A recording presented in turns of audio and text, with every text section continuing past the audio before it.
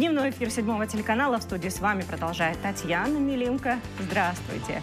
Мы вам показываем каждый день новые экспонаты из нового музея. И уже показали экспонаты Одесского музея западного и восточного искусства, из Одесской киностудии. Сейчас очередь художественного музея. И посмотрите, пожалуйста, что нам расскажет экскурсовод.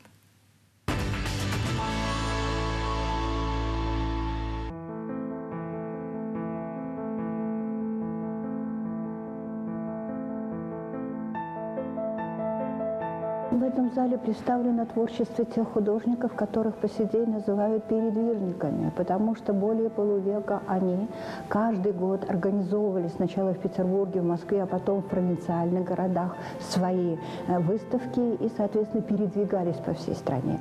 Их, в общем-то, целью было познакомить страну с новым искусством, поэтому каждый год они показывали что-то новое. И вот на первой выставке передвижников как раз и была представлена работа Алексея Кондратьевича Саврасова, которая называется «Грачи прилетели». Эта работа нам знакома с детства. В наших учебниках она репродуцировалась постоянно. Ранняя весна, деревянная церквушка, тает снег, прилетели грачи, искривленные березы и так далее. Через три года Алексей Кондрач обратился опять к сцене птиц, вернее, к теме птиц и к теме, соответственно, природы. Но если там грачи прилетели весна, то вот на этой работе, она называется «Вечер перелет птиц. Глубокая осень». Холст мы поднимаем, делим по вертикали, и смотрите, две трети – это вот это холодное осеннее небо, а одна треть, размытая дождями, голая унылая степь. Солнце уходит за горизонт, последние лучи золотят облака, и на фоне золотых облаков многочисленные стаи птиц.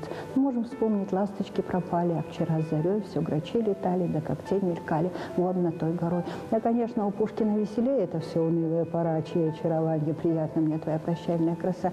Короче, художник, вот мы сейчас вспомнили два литературных отрывка. Так э, писатели создают образ осени, а здесь вот она, осень во всей ее, в общем-то, где-то все-таки красе представлена кистью художника. То есть художник тоже, создавая свое произведение, пишет, создает определенный образ.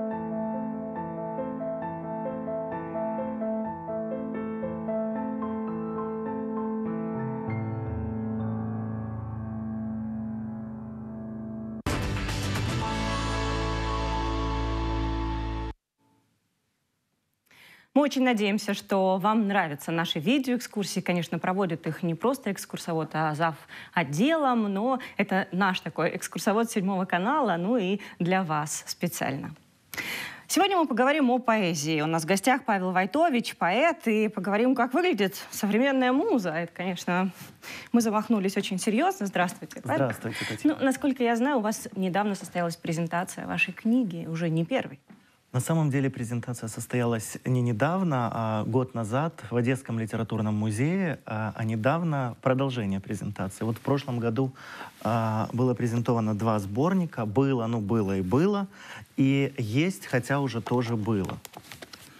А, все было. Почти. Все было, а да. будет, может быть? Еще будет. Есть, да. что есть, Это в этом есть. году, что да. есть, то есть. И четвертый сборник. Благодаря... Но это не, не кулинарные шедевры, Не кулинарные да? шедевры, Есть, да. что есть, то есть. Прям призыв э, для холостяков практически. Призыв Ну, а тут на самом деле философия. Больше философии, да. Есть и одессика, но больше философии, и лирики. Когда вы начали писать? Вы знаете, это странно, но я не всегда помню, когда начал писать, но более э, системно где-то с 2009 года. Э, и долгое время писал в стол. А потом я пошел в, а, в Доме медработников, а, организовывали презентацию и мероприятие, где эм, поэты и писатели могли почитать свои, начинающие, могли почитать свои произведения. Вот я что-то почитал, и мне понравилось.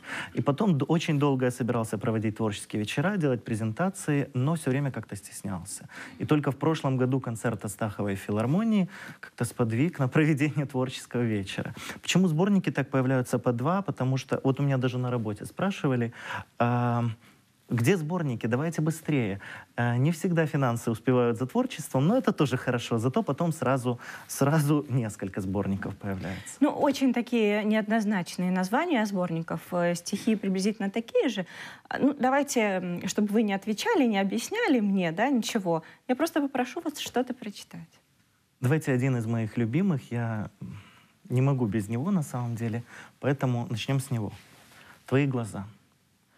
Мне глаза твои забыть едва ли. В них порода, страсть и глубина. Порой кажется, что они, как ты, устали. В них такая грусть, надежда и какая-то вина. Мне глаза твои ночью видеть, любоваться ими, следить за движением ресниц. Мне зато себя порой ненавидеть. Мне в глаза твои смотреть, как слушать пенье птиц. Мне глаза твои — такая сила. Слабость мне твои глаза. Те глаза твои однажды так тебя корили, что с моих катилась слеза. Мне глаза твои какие-то такие, что не выразить всю прелесть их словами. Определенно, глаза твои святые. К ним с трепетом прикоснулся бы губами. Вот такое стихотворение. Достаточно Знаете, лирическое, да? Часто а, приходится слышать, что многие поэты стесняются на публику читать свои стихотворения. В чем причина? Чего бояться? Ведь это же ваше творчество, а творчество обычно оно для людей. Обычно да, и каждое слово достучится куда нужно. А, может быть, э, потому что страху нужно наступать на горло. Я вот и задумался о проведении таких литературных вечеров. И, как я уже сказал, первый был проведен в прошлом году в литературном музее, в этом году в Андерпабе. Там не только я читаю стихотворения, но и э, другие начинающие поэты свои стихотворения. Некоторые читали мои стихотворения. Э, певцы пели очень красивые песни. Это было достаточно душевно. Кто приходит на литературные чтения? Такие же поэты или это очень разные люди? Очень разные люди. В этом году было много юристов. Может быть, потому что они мною приглашены, но все равно приятно, и все остались довольны. Вы преподаватель? Преподаватель, да. А преподаете? Международное право в юридической академии. Угу. Международное право. Да. Как это сочетается с вашей поэзией? Сочетается. Даже есть стих Fifty Shades of International Law в этом году. И мой Читаем попугай его? Петруша... Э, не будем. Не будем. И мой попугай Хорошо. Петруша знает международное право. Я так пугаю студентов. Пугаете почему? что даже попугай знает международное право. Что Поэтому им приходится Обязательно учить. нужно да. знать. А студенты ваши приходят на чтение? Студенты приходят, да. Притом добровольно. Это радует. Ну, э, добровольно это радует, безусловно. И мне кажется, вот вы все-таки человек более взрослый, да, то есть не, не просто студент, который что-то написал, и открыться еще и студентам своим, это очень важно. И я знаю, что студенты обычно такое очень любят, правда, о том, что они видят, что их преподаватель — это живой человек со своими эмоциями, который любит, который умеет красиво описывать, который думает. А как они реагируют? Какой Им нравится. отзыв получаете? Вы знаете, в этом году а, по результатам студенческого голосования мне дали преподавателя года. И это очень при... спасибо большое. Это очень приятно. На самом деле это а, самая большая награда, которую может получить преподаватель. Но вот а, у меня брали интервью и спрашивают, каково оно. Я уже 13-й год преподаватель, поэтому преподаватель этого года, преподаватель другого, следующего — это призвание. Я люблю своих студентов, они любят меня, это все взаимно. А бывает такое, что студенты сами приносят вам свои стихи? Ведь они тоже боятся, правда? В, боятся. В этом году мальчик принес э, свою книгу. Вы читайте, пожалуйста, говорят, да? да Дайте рецензию, да, что да. говорят? Почитайте, пожалуйста, посмотрите, интересно ваше мнение. Один мой выпускник присылает все время мне рассказы. Я еще один не дочитал, потому что очень большой. Но последний, который читал, аж дух захватывает. Еще думаю, может, это не он писал, но вот, вот такая глубина мысли. Что советуете своим студентам? Продолжать, не останавливаться? Не останавливаться, не бояться, работать, творить. Это, это изнутри, поэтому оно должно быть э, вне и дойти до своего адресата. Угу.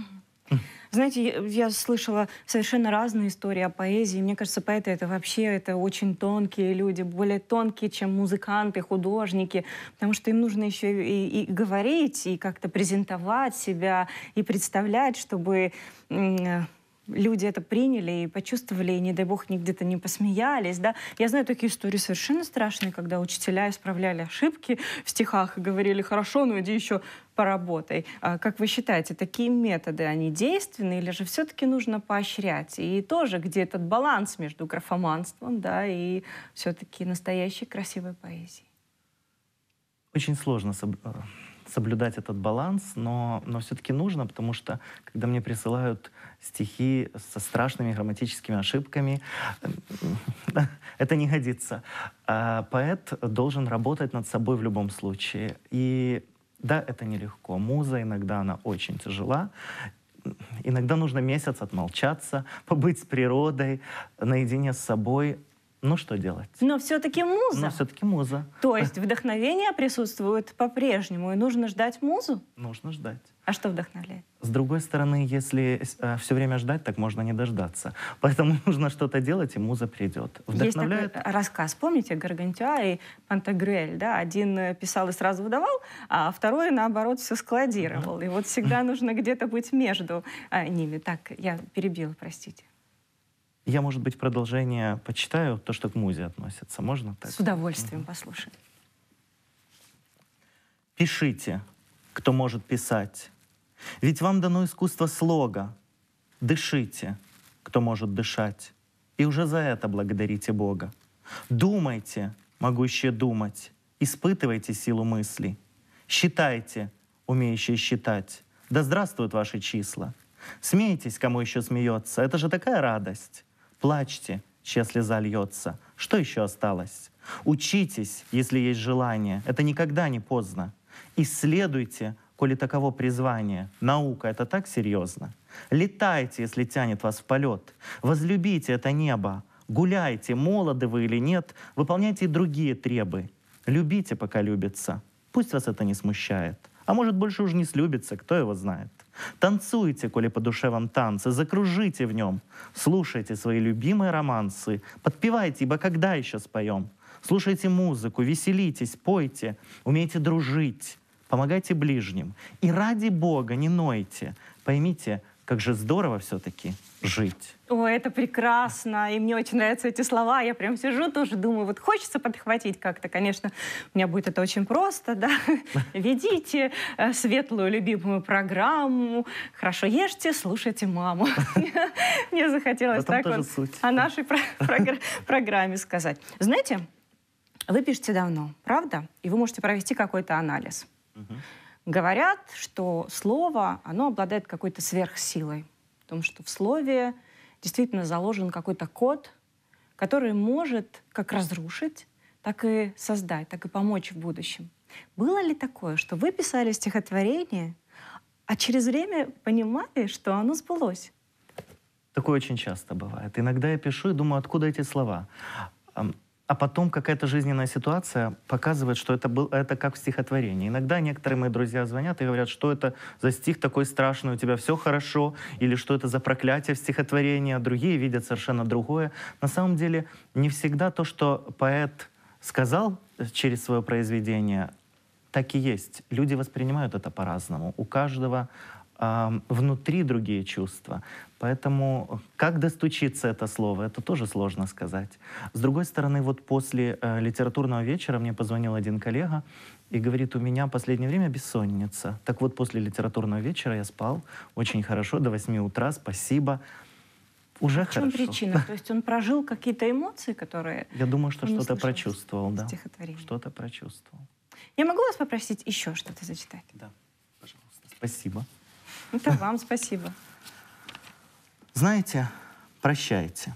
Как это не тяжело, но от этого вам легче, взлетайте, как орел над вороньем. Прощайте, прошу вас, ибо ты, Байси мы без греха. Позвольте себе услышать внутри джаз, игнорируя чьи-то хи и ха.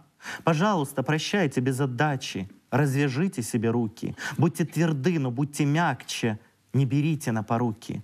Прощение прошлого не изменит, но изменит будущее. Прощайте, чтобы не стать мишенью. Пусть считают вас причудливым. Выше справедливости может быть только прощение. Не забывайте, сколько прощается нам. Прощение — это взросление, это крещение, это мир нашим домам. Прощайте, как лозунг сегодняшнего вечера, как на ночь молитва. Простите, это ярче красноречия. Угасите свои внутренние огни битвы. Очень красиво. Можно я посмотрю? Конечно. Мне кажется, прям цитировать можно. Это действительно красиво. Расскажите о ваших сборниках. Их где-то можно приобрести, они есть на книжных прилавках. Или вы создаете все больше для себя и для своих близких? Их можно приобрести пока у меня, но я создаю а, для всех. Кто, кто хочет, кто тянется, тот может приобрести. Я в, в Инстаграме есть больше, вроде бы пока нигде. А у меня просили на книжке, но я пока что-то не решился. Мне так нравится, позвольте себе услышать внутри джаз, игнорируя чьи-то хи и ха. Это очень здорово. И прощайте, конечно, сильно сказано. Спасибо вам огромное, что вы пришли к нам. Спасибо. Мы Спасибо будем вам. следить обязательно за вашим творчеством и поддерживать вас. Приходите к нам еще, рассказывайте о литературных ве- вечерах. С удовольствием посидим их. Я думаю, что поэтому вообще одесским нужно кооперироваться. Многие говорят о том, что нет волны какой-то единой. Да? Вот художники, у них есть какая-то солидарность, какое-то общение между собой. А вот у поэтов немножечко все разрознено. Мне кажется, что а, нужно все-таки собраться вместе и создать какой-то современной а, поэзии, такой клуб, может быть. Да? Ну, это все мои мысли. А пока на седьмом канале может прозвучать хорошая поэзия. Спасибо, Спасибо большое. Я напоминаю, в гостях у нас Павел Войтович, поэт. Можно я а, еще раз да, завершу э, наш эфир четверостишьем. Пожалуйста, прощайте без отдачи, развяжите себе руки. Будьте тверды, но будьте мягче, не берите на поруки. Прекрасно. Спасибо. Предлагаю вам сейчас еще посмотреть интервью а, группы «Антитела». Совсем недавно они снимали под Одессой свой новый клип. Клип еще не вышел, а вот интервью уже есть на седьмом канале. Я прощаюсь с вами, передаю слово коллегам. Оставайтесь с седьмым телеканалом. Всего доброго вам.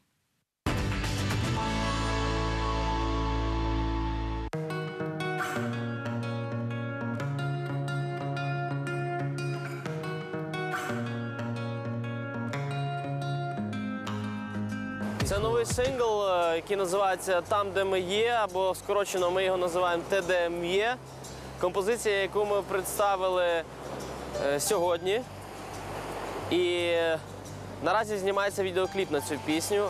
А ще є відзняте лірик відео, воно так само представлене сьогодні. Це пісня, яка увійде в нашу майбутню платівку, яку ми збираємося випустити десь через рік. Тобто це перша ластівка із того всього нового матеріалу, який ми збираємось представити протягом півтора року. Тихо, тихо, стоп, марафон. Ти прокидаєшся, це був лиш сон. Немає фейків, лукавих слів, чистий розум замість голів. Хто малював на екрані фільм, хто давав ролі і наносив грим, хто лише лялька, хто карабас, зрозуміти саме час. Це драма, це історія подвигу однієї людини Станіслава Курилова, який втік із е, Радянського Союзу, із тоталітарної держави. 40 років тому він стрибнув з борту лайнера прямо на гвинти, не побоявшись. І слідуючи своїй мрії, він проплив 100 кілометрів, плив три дні і три ночі, щоб добратися до свободи, до Філіппінських островів, де він е, власне отримав цю свободу і, і почав нове життя. Власне, це є екранізація цієї історії, звичайно, адаптована під українські реалії. В головній ролі знялась знявся відомий плавець український. Е, Все побачите згодом. Часом виє вітер і човен на воді. Вона вразила нас своєю силою. Просто насправді е, це історія, яка показує, що заради своєї мрії можна йти, долати будь-що, і що людина дуже сильна насправді. Кожна людина в ній є велика сила.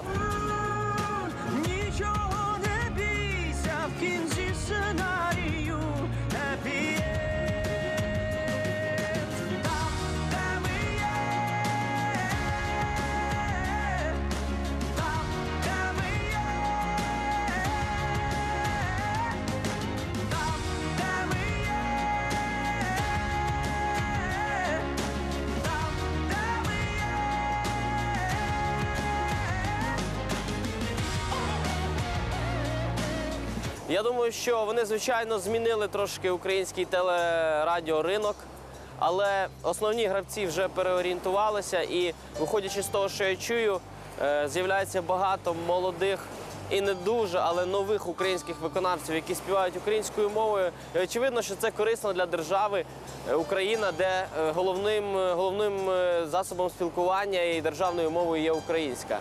Не може бути відірвано мистецтво від. Від е, внутрішньої державної політики. Це одне, одне ціле. Тому я думаю, що в цілому це позитивно. Хоча є певні негативні нюанси, які ми всі спостерігаємо. Це і засилення неякісної української музики, яка тепер е, отримала змогу потрапляти до наших вуз. Це і певні маніпуляції на цьому питанні. Але ми все це пройдемо, тому що у нас е, у всіх головна, світла, хороша мета. Люби вільно, цілуй поволі, прощай швидко або ніколи. Часу мало маєш дійти, хочеш правди, мусиш знайти. Люди далі прокидаються, люди далі не ховаються. Нова глибина напроти нас, отакий цікавий час.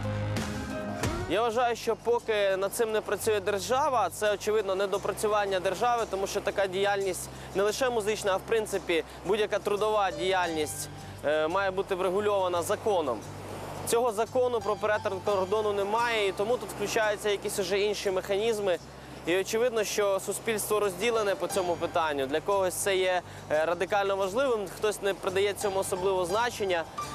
Я завжди утримуюсь від оцінки дій і активістів, і виконавців, е, акторів, е, співаків. Е, Я вважаю, що це особиста справа кожного, допоки це дозволяє закон. just on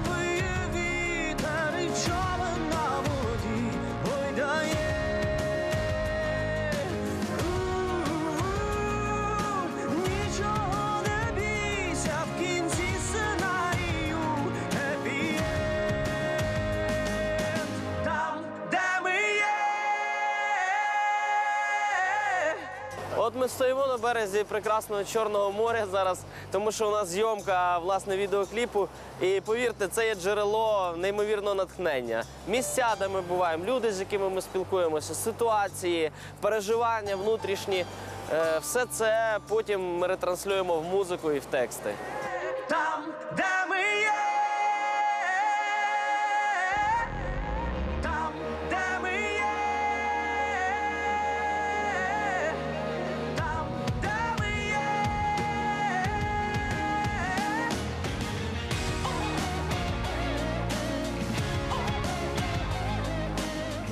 я би порадив вам антитіла прослухати.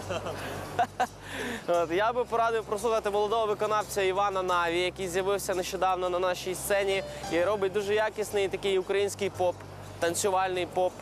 От, я би порадив послухати співачку Соня Кей, яка так само е, досить свіжо транслює українську музику в світ.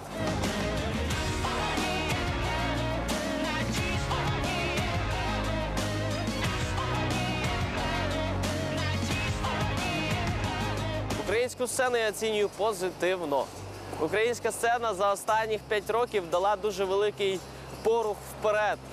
Е, Причиною цьому стали, звичайно, і в тому числі війна на сході, і певні законодавчі нові позиції, на які вийшла українська сцена. От, але загалом все рухається в правильному напрямку. Це дуже гарний тренд. І я думаю, що через 5 років е, ми просто не впізнаємо себе.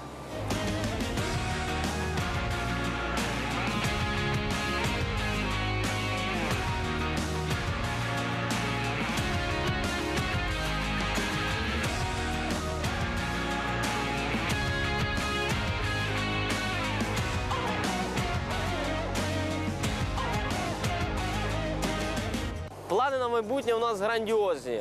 Наприклад, Ми е, скоро представимо кліп, який ми знімаємо.